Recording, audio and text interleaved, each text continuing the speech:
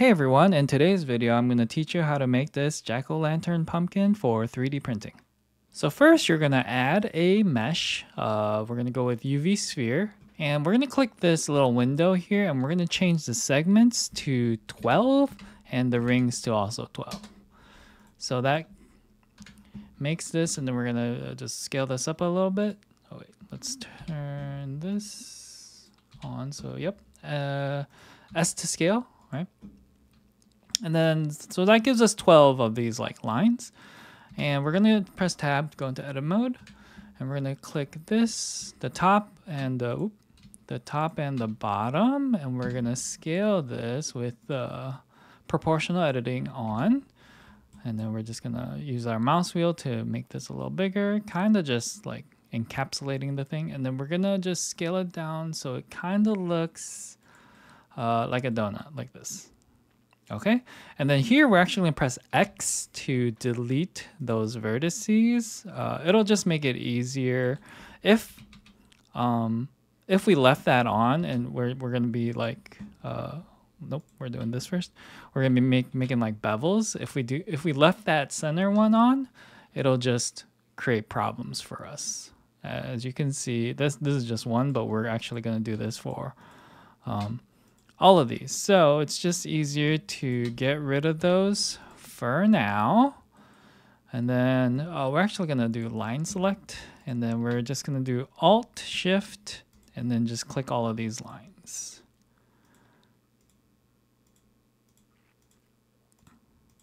Okay, and then we're gonna go control B to bevel.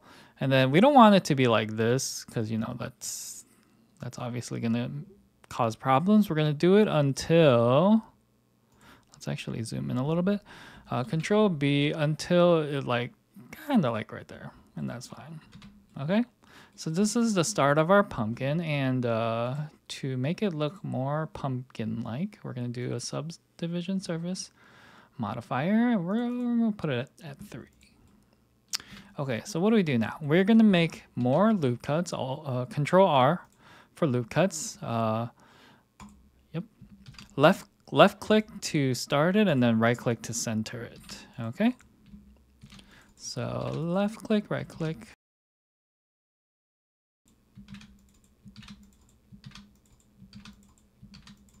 And then now we're going to select all of those lines. Just look for like the like the kind of like the V shape and then click the line in the middle. And then we're gonna press S, nope, S to scale, but we're gonna turn proportional editing off. S to scale, like so. Okay, looking pretty good. And then we're actually gonna go one step further. Like you can keep it like that, but we're gonna make, um, so let's go to top view, uh, seven on the D numpad for top view. And then we're just gonna make, um, more loop cuts in between like the two straight lines of each section. So yeah, left click, right click. And then we're gonna select them all again. This is the most tedious part, but uh, I think this is the last tedious thing. Okay, and then we're gonna scale this down to make it a little more like that, more of a crease, right? And um, I forgot to tell you, uh, I use two um, add-ons. So if you go to Edit, Preferences, and then you go to uh, Add-ons, I use Mesh Loop Loop Tools and Bool Tool, uh, the the Mesh Loop Tools, and then Object Bool Tool add-ons. So you're also going to want those because those you'll see. They're very useful and you should always have them on okay? Just trust me on that one. Okay so we press n to get this little uh, menu. We're going to go to edit. Nope. We're going to go to edit mode. Uh, let's go to vertex select and then yeah see here on the edits we got loop tools. And then we're going to go into x-ray mode to kind of click uh, on the top and the bottom. And then we're gonna do press circle, just to kind of clean it up a little bit. And as you can see, it circles up both of them without like connecting them. And then we're gonna press F to fill it. Uh, let's get out of X-ray. And then, yeah, you can see it's closed up. And then we're gonna inset it. Uh, and then I'm not sure why, but this is like, this takes a lot of computing power, I guess. And then we're just gonna inset it slightly like that. So it's like that. And we're pretty much done with the pumpkin part of the pumpkin. Um, but yeah, this is looking a little too low def for me. So we're gonna increase it maybe to five segments. Okay, but we're not gonna apply it or anything.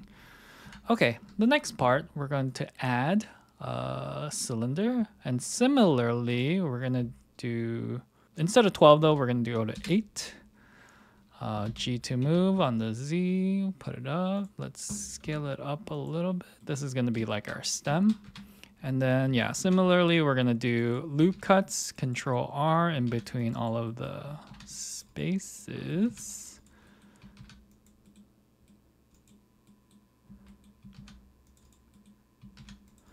Okay, and then Alt Shift to collect uh, to select all of them.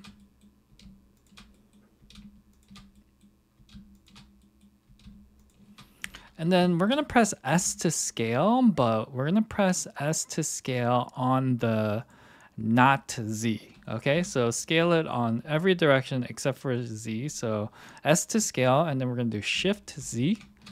And as you can see, it only moves on the X and the Y axis. And then we're to scale it down so it looks kind of like a star. Okay. And then we're going to add the modifier, subdivision surface modifier. And it looks kind of weird, right? That's because we need to add a few more loop cuts. Let's add four. Okay, I'm using the mouse wheel to increase the amount of loop cuts. Um, and then we're going to go to face select, select the top. We're going to inset it by 0.1. So like 10% inside. And then just to keep everything uh, even, we're going to inset the bottom as well by 0.1. Okay, and then it's like the the backslash to isolate it and then come back. Okay, and then let's just move this up to maybe three. Yeah, that's fine. Okay, and this is look, looking a little too straight, so we're going to go into tab. Uh, let's go into x-ray mode and then vertex select. And then we're just gonna like, hmm, we're gonna turn proportion editing back on, uh, but we're gonna lower the, the area to about here. Let's go move it up a little bit, maybe turn it. And then like scale this up and then you can you can just play around with this, whatever you think uh, looks right. This kind of looks weird, but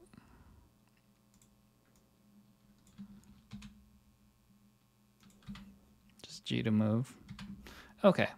And whatever is like inside the pumpkin you don't have to mess with. Hmm. Let's scale this a little bit. Down. Perfect. Okay, I'm happy with that. What do you think? Yeah.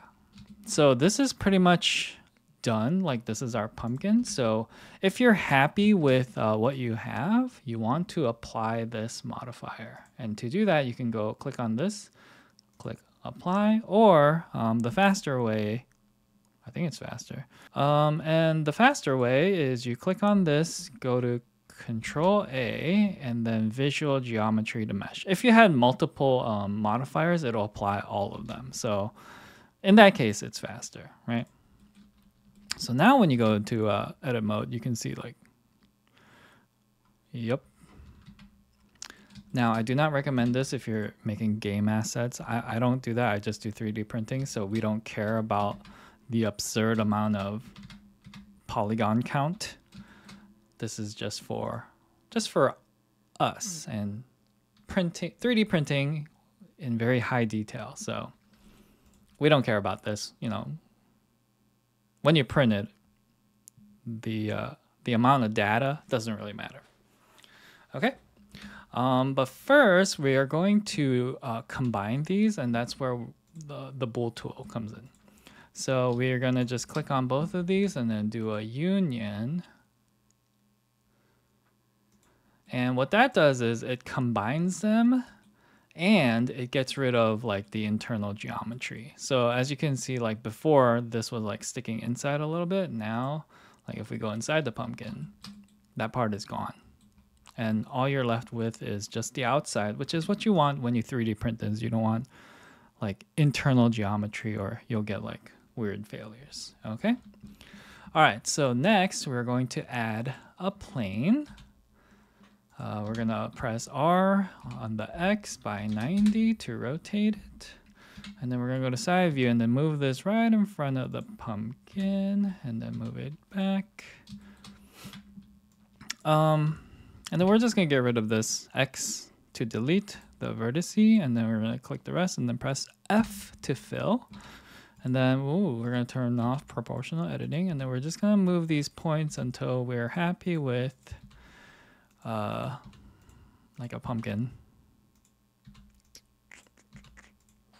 like a jack-o'-lantern pumpkin eye. I think that's what it's supposed to look like. And then we're gonna add the modifier, the mirror modifier, and then we're gonna use this as our mirror object. And yeah, those are the eyes. And you could kind of change these however you want. You can make them big, like it's surprised. Uh, here it's like evil, but we're gonna leave it kind of normal. Okay, so we're gonna add another plane. So we're gonna do the same thing, R, X, Y, and then side view. We're gonna move it here.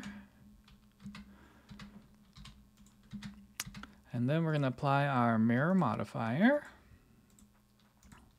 Okay, and then we're gonna turn on clipping. So what clipping does is when you do this and you pass it like doesn't stop. But when you turn on clipping, it'll kind of just combine them together so that when we apply the the mirror modifier, this will be all one one object and not like two separate objects.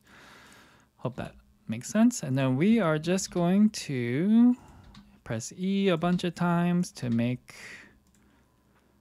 a bunch of extrusions. Okay, and then we're gonna do, let's go here, two teeth, um, G to move on the Z down, and then scale on the X to kind of make it wider. If you look here, you can kind of see what we're doing. And then let's make a loop cut here and then just move these up a little bit. Like so. And then we're just gonna like fix the mouth so that it's smiling to the best of our ability.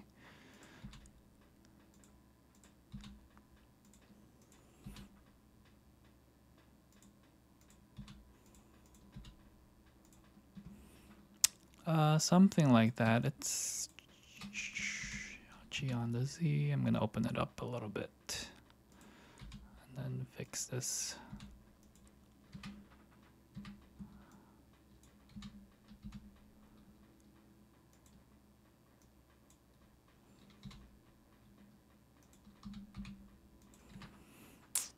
Yeah, something like that. Now, as you can see, it is like this, but this is what we're gonna cut away from our pumpkin.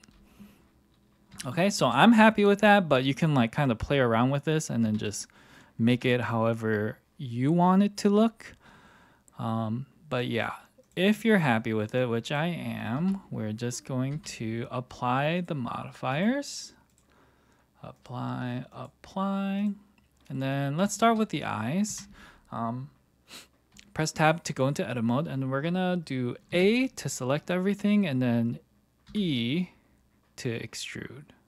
Okay, and then actually we're gonna go into side view. Let's turn on X-ray because we want to. Ooh, we don't want to make. Um, we want to make sure we go deep enough, but not like too deep. Okay, because so uh, I like this line right here. Okay, so yeah, that looks good. And then we're gonna do the same thing.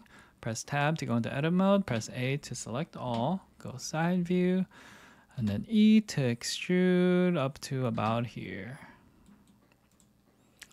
Okay, let's turn off x-ray. And then this is actually not gonna work, but I'm gonna show you why it's not gonna work, okay?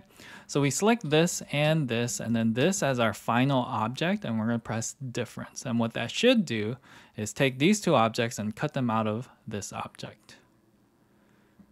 But it didn't work. Anyone know why? Because when we turn on face orientation, these are red, which means uh, this is what Blender thinks this is outside, but it thinks this is inside. So when we extruded it, we should have gone like this way. Let's actually see if it works. Let's isolate that. Uh, yeah, select these and then G on the Y. Yeah, so if we did it this way, um, this could work. So now if we like, let's mm, move these. Yeah, that's fine. So now when we do a difference, it should work. So it pretty much thinks this is inside out and what this is should be on the inside. So it's confused about what is on the outside. So pretty much, yeah. Um, but another thing we could do is we press tab, um, A to select all, and then we do con nope, Alt N, and then we could either flip or recalculate outside, which in this case, either would work. So if we flip it, it's blue, Control Z, Alt N, recalculate outside, you know, this is obviously the outside. So now when we do this, click this, and then click this second, because that's the object we want to keep, and then do difference, it should work fine. And now let's turn face orientation off. And yeah, now we have our jack-o'-lantern. I'm uh, I'm moving this around for the thumbnail. Uh, multitasking. Um, if you ever want to get rid of these grids, you can click this. And if you want to get rid of this, boop, boop. Now what you need to do is just take this, go to File, Export STL, and then load it up on your uh, whatever program you use. I use uh, Chitubox, the free version. And then you you want to rotate it like this into like a 45 degree angle. I already I already did it for this and a couple other jack-o'-lanterns I made. As you can see, there's a sad one and a kind of evil laughing one with sharp teeth. Um, but yeah, if you rotate it 75 degrees, that's enough so that you don't need to add supports to like the inside of the mouth. It'll print fine. And um, here are the examples of these that are printed so you know um, what to expect. Um, be very generous with your supports. I actually had a couple of these fail because even though there was a lot of supports, uh, these especially, they're kind of like wide and they take up a lot of area. So the suction force sometimes it's it's a lot. So I had two of these fail out of like however many. Uh, so yeah, make sure you add a lot of supports. And for the support system, I use light supports like exclusively, uh, but for the contact shape, I use spheres. So it adds these little circles.